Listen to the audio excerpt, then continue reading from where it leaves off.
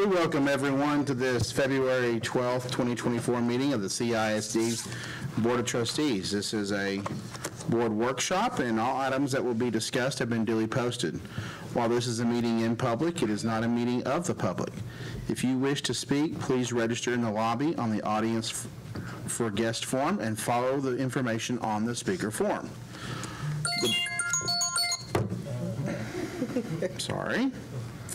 The board's role is to set goals, approve personnel and budgets, make policy, and provide oversight. We are not here to manage or solve individual problems. Management is the responsibility of the superintendent.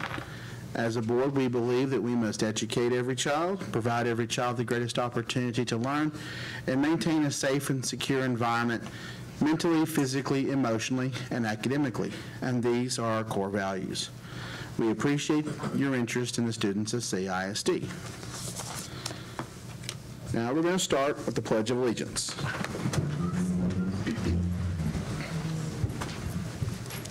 I pledge allegiance to the flag of the United States of America and to the republic for which it stands, one nation, under God, indivisible, with liberty and justice for all. Honor the Texas flag, I pledge allegiance to thee, Texas, one state under God, one and indivisible. I'm going to ask Kamar Chambers if he'll lead us in a word of prayer. Let us bow our heads. Dear Heavenly Father, we first and foremost say thank you, God. We thank you for life, health, and strength. God, we thank you for your grace, mercy, peace, joy, and happiness, Father God. God, we thank you for the love that you've shown us each, each, every day. Um, God, we thank you for just being who you are to us. And Father, we thank you that you are able to um, lead, guide, and direct us in all truth, and that we are walking in the truth and doing the right things for our children, um, the district, and those that are involved with CISD. God, we thank you right now for this day. We ask all these things in your son, in Jesus' name we pray. Amen. Amen.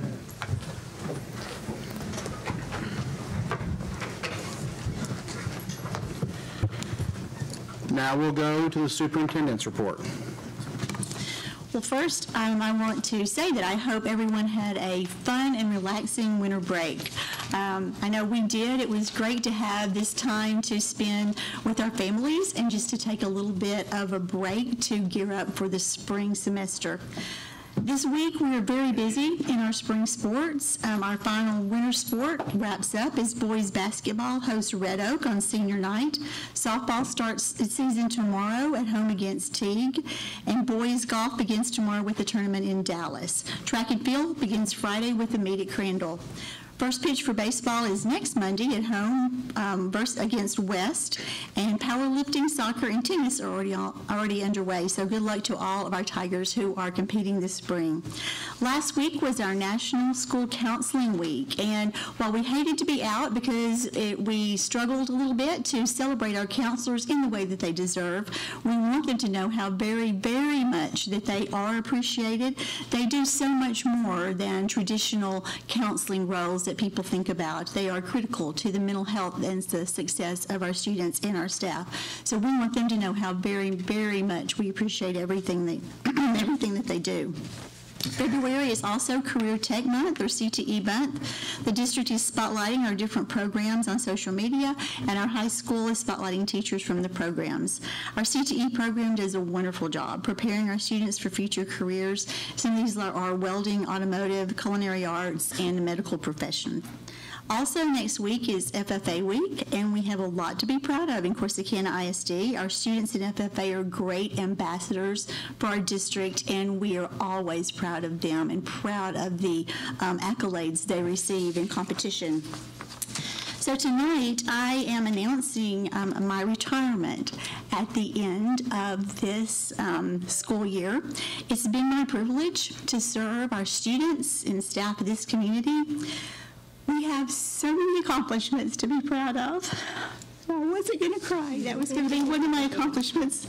Um, I remember in my interview for this job that I said, one of the things that I, shoot, one of the things I most wanted was for people to know how great Corsicana You're giving me tissues. That's, that is true board support.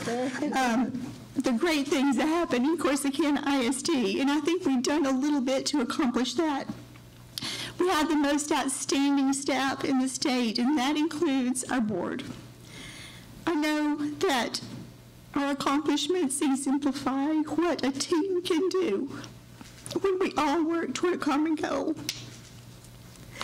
I am, I am deeply grateful for your unwavering support, and I know that your dedication and our dedication to our students has been the driving force behind our successes. Thank you for the opportunity to serve this remarkable district.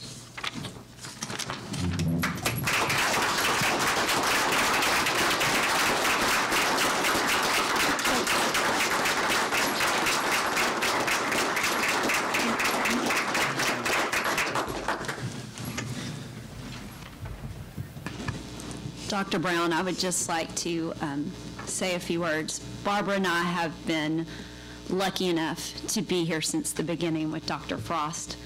Um, It has been truly an honor to serve with you this many years. We have been through some tough times, and you have brought us through the, who could have brought us through COVID better than you did? And on the outside, you know, outside of that, here we won District of the Year and then Board of the Year, and that is 100% due to you and your staff. That was your award. So it's just been such a privilege. We have been so lucky to have you, and Corsicana ISD is better because of you and will be forever. So you will definitely be missed. President Brown, I also want to, um, a- um, add to what Leah has, has, um, has said. You know, this being my last year on school board, you know, it's been a, it's been an honor to work with you. Uh, I mean, you've made me a better person as a leader. You know, it was kind of at the beginning, you know, we had to learn our role, because that was my first, first time being on school board, so I had to learn my role as a board member. But you have helped me grow as a leader, and, um, I appreciate everything you've done for our community. You left a legacy, and that's what you want to do as a leader. You want to be able to leave your, leave your footprint, and so you have done a good job. And I know God has a, something else in store for you, you know, the grandkids and all that, and that's what you want to do when you retire, is, you know, enjoy, enjoy the latter part of the, you know, your, your, your, your, so, thank you so much for your leadership, and I know, um, things will let you, you know, prosper. All right, I'm ready, I'm ready. Um, First, I want to let everyone else talk first, so I can just say ditto. But, because I do want to say, I agree with what both of y'all just said, um, but the last six years really, truly have been an honor, and I and thank you for letting uh, me have the opportunity to work with you as well. Um, It has been a blessing, thank you.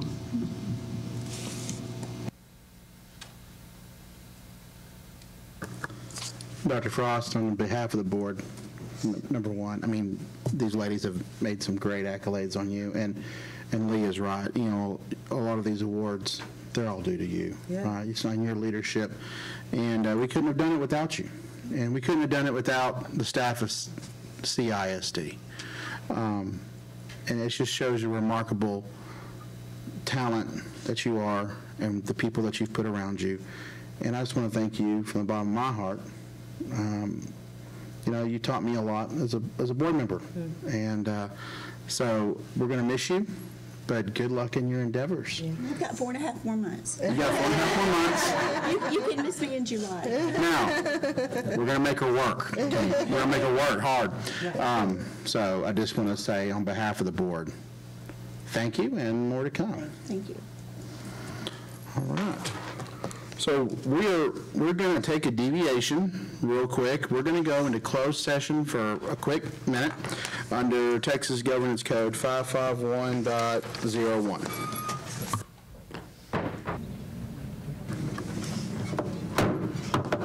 We are now back from open session, back to open session, sorry. Uh, Is there any action items that we want to take care of before we start? Mr. President, um, it's- it's with great honor that I nominate um, Mrs. Kendra Rogers as the Assistant Principal of Collins Intermediate School. Do we have a second? Second? We have a motion and a second to hire Kendra Rogers as the assistant principal at Collins Intermediate School. All those in favor, say aye. Aye. All those opposed, say no. Ayes have it. Congratulations, Ms. Rogers.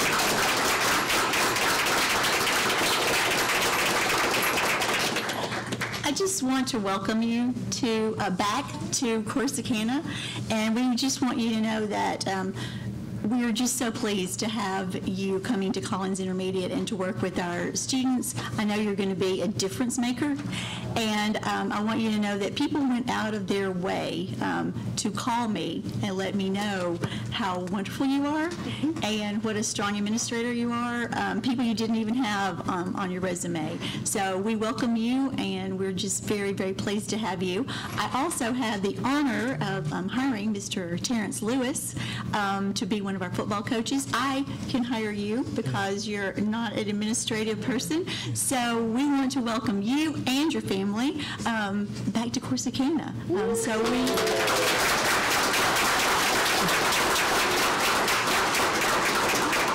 Dr. Frost, can I say something about Terrence Dinky? Dinky.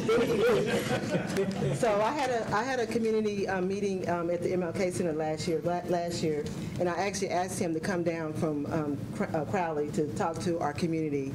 And when I'm telling you, and Jamie was there, if I tell you, they are, he is, they are still passionate about their community.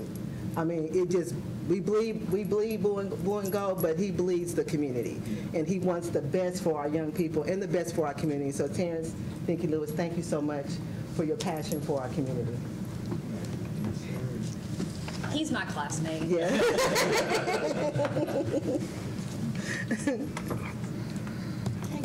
Okay, thank you very much. Uh, Let's go into discussion action items. Uh, Food Service Department update. So Ms. Howell is going to lead this conversation. We also want to thank uh, Mr. Blaylock and Mr. Chambers from Food Services for being here as well. Thank you both. Yes, they are definitely here to answer any questions. So thank you, Dr. Frost, Dr. Brown, and members of the board. Uh, We are here to discuss our child nutrition update for the year. Uh, Currently, this is our staff. Uh, We have four people in our office staff, then we have 15 at CHS, 10 at CMS, uh, 11 at Collins, and then five basically at our elementaries at Bowie, Carroll. At Drane, we still have Head Start. We have two employees there. Uh, Five at Fannin, six at Navarro, and five at Sam Houston. So a total of 68 with two openings currently. Currently, our, at, all of our students still have free breakfast and lunch um, in our district. Our teachers, it's $2.50 for a breakfast, $4.25 for lunch. A visitor is $3.50 for breakfast, a child visitor. I think I have it backwards, I apologize. $2.50 for a child visitor, $3.50 for an adult, and $4.25 for lunch for both of those.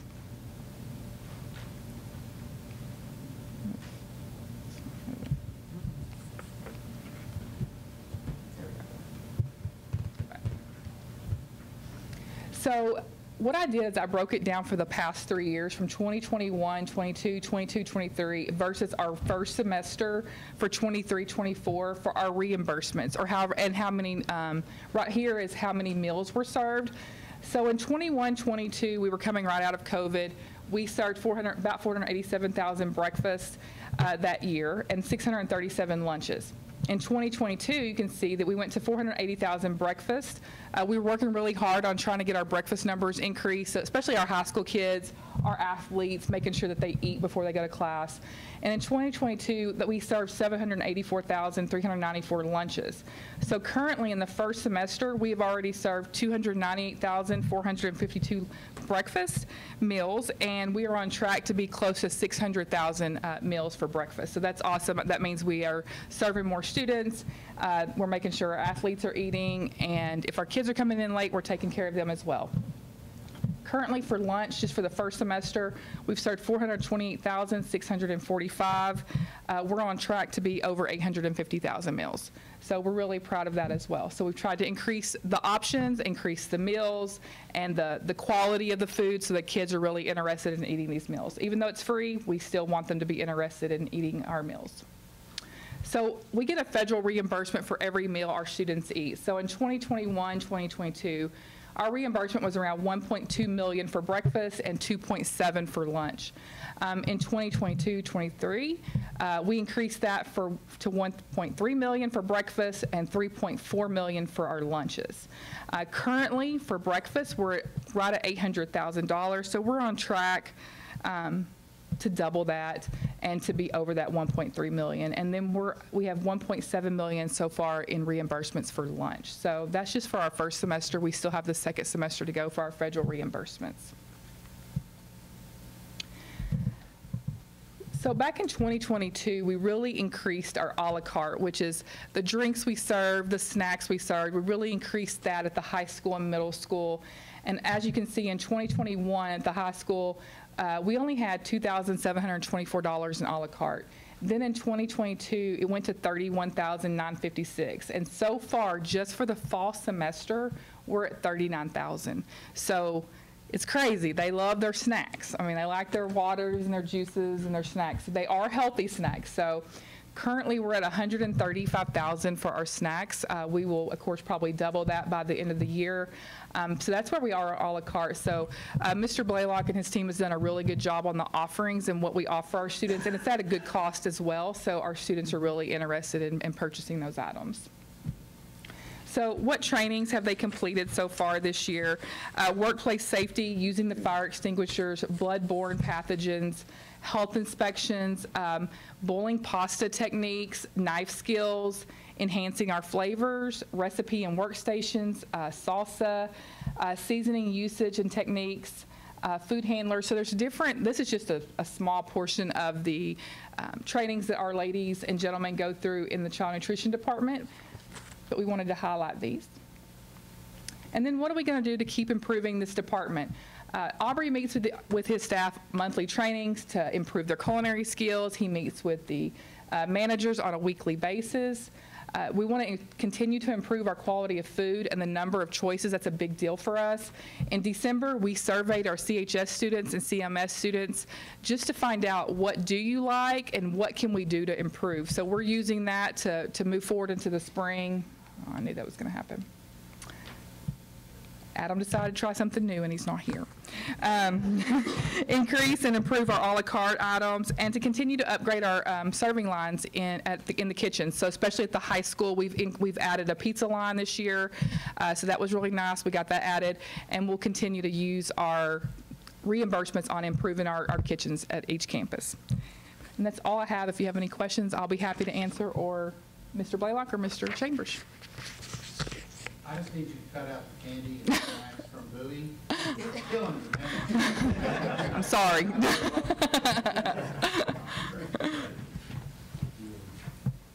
All right. Thank you.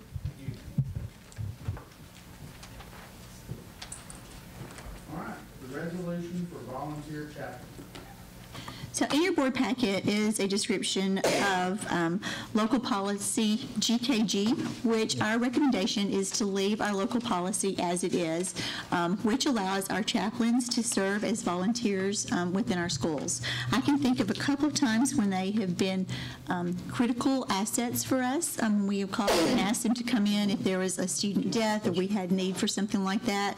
And we just work so well with our local chaplains and ministers, and we want them to be able to continue to come in as volunteers using the same volunteer protocols as we currently have in place. So if you, if you, if you have any questions, I'll be glad to answer those. If you don't have any questions, or if I resolve all your questions um, that you might ask, we'll put this in the consent agenda for the next board meeting. It's something each district has to approve the resolution. So this is like a first reading of this policy. Any questions? If you have any questions, please let us know by Friday. Please let us know by Friday if you have any questions. All right. Thank you, Dr. Frost. Yeah, Go ahead, sorry. First reading, TASB Update 122. So in your board packet are the um, significant changes to um, update, to policy, legal and local, related to Update 122, which is over 200 pages. Um, We have gone through this. We've looked at all of the modifications. A lot has to do with um, security um, just security on the ground as well as cybersecurity. We have procedures and processes in place to fulfill the requirements of those um, requirements. We also have some modifications to accelerated instruction and what students um, that accelerated instruction, um, including, um, is required for, including our dyslexic students and identification of those students.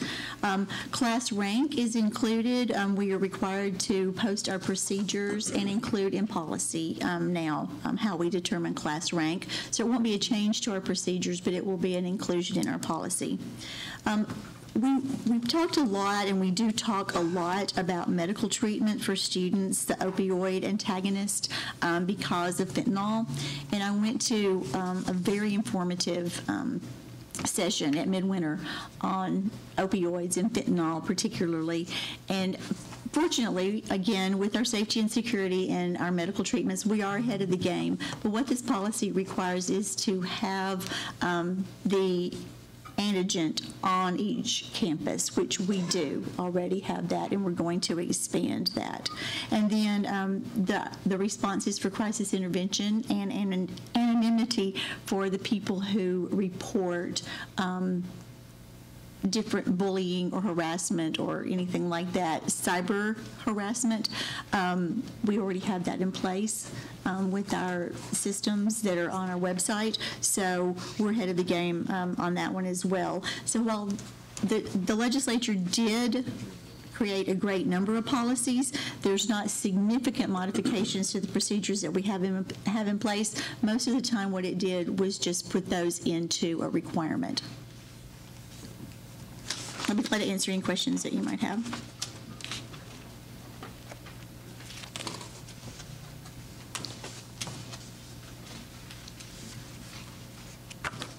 Anyone have any questions for that?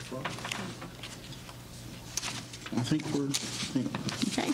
we're good. It'll be in consent agenda. It will for the next, for, for approval at the next board meeting. All right.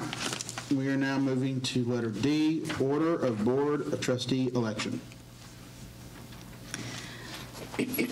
Texas law requires that the Board of Trustees order the election to be held on May 4th, 2024. Um, This action would order the election to be held on that day for Board Trustee Places 3 and 4. So I'll entertain a motion so we can have this election on May 4th. I move that we approve the order of election for CISD Board of Trustees, Place 3 and 4 to be held on May 4th, 2024. Second. A motion and a second to approve the order of election for CISD Board of Trustees, places three and four, to be held on May 4th, 2024. All those in favor, say aye. Aye. All those opposed, say no. Ayes have it, and we will have, we have approved the elect, order of election for CISD Board of Trustees, places three and four, to be held on May 4th, 2024. Ms. Harrison, is there any audience for guests? All right, thank you. All right. We are going to move into closed session as permitted by Texas Government Code, Section 551.01. Thank you very much.